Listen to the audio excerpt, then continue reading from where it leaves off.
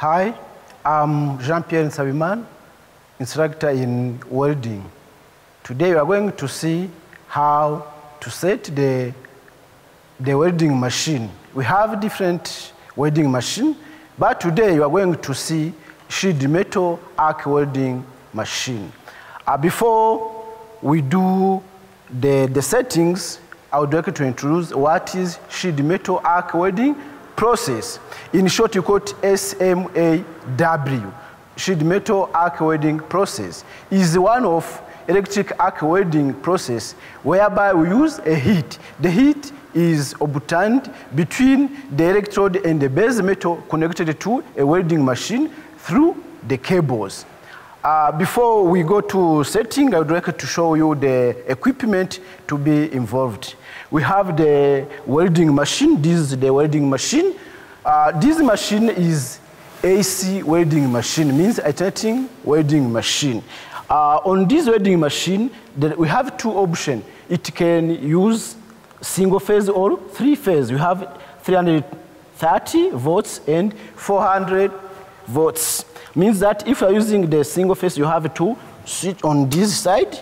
If you're going to use the three phase, you have to go to on this side. Means that this machine also, uh, we have three ways to connect the, the cables. But on this one, you can use only two cables. Means that on this, we, if we connect the cables on 70 volts, means that for the reading, we use this lower reading. When we use the lower one, the 50, we use the upper reading. And then here we connect the other cable. For welding process, we need a welding machine. This is the welding machine. And then we have two cables. This is the electrode cable. It is a cable connected to the welding machine. And then finally we connected the electrode. Also we have the earth cable. This is the earth cable. It will be connected on one connection and then on this one we will connect the welding job or the base metal. For example, this one, we connect it here. And then this one, it can be connected on one. If you connect on 70, means that for the reading, as I said, it will be this one. Also, you can disconnect those cables. You can use on other machine. So when you use this kind of welding machine, we can connect the cables, the ca we can interchange the cables, there is no effects. Even you see here the earth clamp, even the, the electrode holder, but we can interchange the cables, there is no problem. Because the heat we receive on both terminals are the same. Apart from this AC welding machine, also we have the DC welding machine. The DC welding machine, to know it, we have the negative and positive. And then, when we are using the DC welding machine, is a little bit different from the AC welding machine because on the, we say that on the AC welding machine, we get the, the same heat on terminals. But for the DC welding machine, when we have the positive, this positive will receive a large amount of heat compared to the negative. Means that you have, you have to be careful when you're going to connect this machine. And then, as I was saying, we have two cables.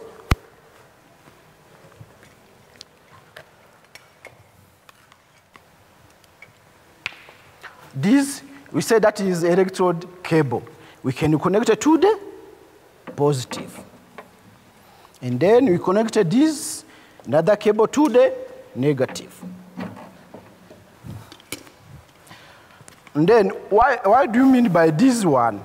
Means that this electrode will receive this electrode. Means this electrode will receive a large amount heat compared to the, Eh, to the cables connected to the negative, where you connected the, the base metal. This is the base metal. We connect it here. Means that if we interchange the cables, there will be effect. Because I said that the heat is not distributed equal. Now, we have connected our cables. And then a part of the, the welding machine, we have some accessories. This we call the hand shield.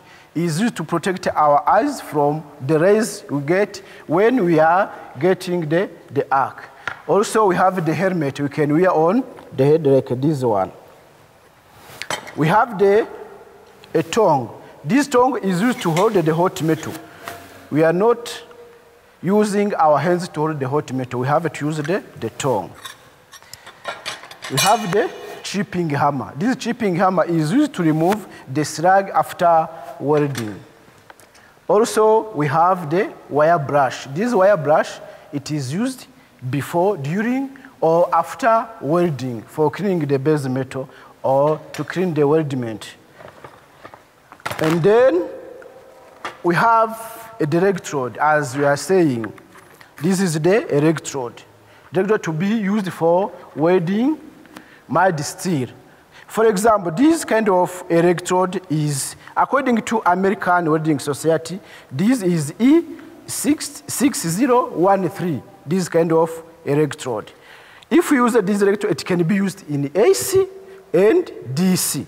When we are using this kind of electrode, we can use the range of amperes of 50 and 90 amperes. This is the range. You can use 50, you can use 60, you can use 70, 80, and 90, dig, uh, 90 amperes. There is no, no problem.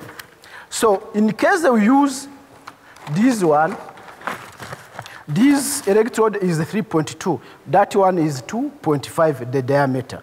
This AC and DC. When we are using this kind of electrode, we use the range of current from 90 up to 130. This is the, the range of the, the current to be used.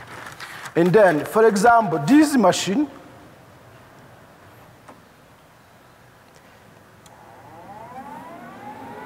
now the machine is switched on. So for example, if we have this one, we say that this is 2.5. We say that the current is between 50 and 90 amperes. Means that if we're going to use this kind of, we have to reduce the current.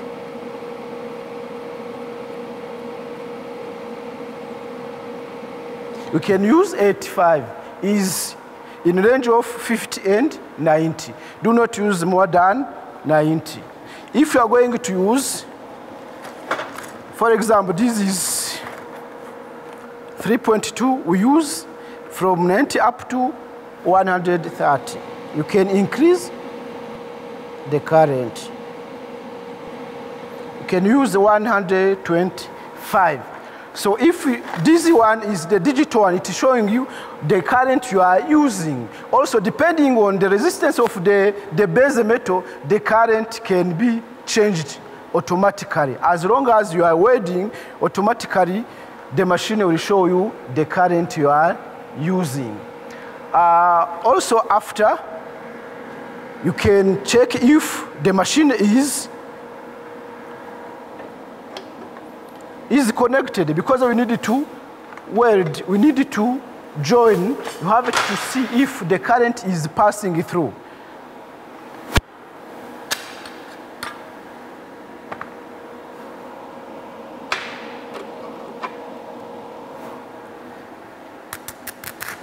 Now, you can do the welding. Means that the machine is setting proper.